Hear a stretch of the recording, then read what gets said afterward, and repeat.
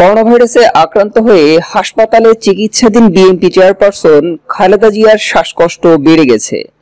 তাকে সোমবার বিকালে করোনারি কেয়ার ইউনিট সিসিইউতে স্থানান্তর করা হয়েছে। খালেদা জিয়ার চিকিৎসায় গঠিত মেডিকেল বোর্ডের সদস্য অধ্যাপক doctor A Z M Zahid Hossain বলেন, ম্যাডামকে সিসিইউতে নেওয়া হয়েছে। তিনি সেখানে চিকিৎসাধীন আছেন। পরে বিস্তারিত জানানো হবে। করোনা ভাইরাসে আক্রান্ত খালেদা জিয়া এখন রাজধানীর এবার কেয়ার হাসপাতালে চিকিৎসাধীন রয়েছেন।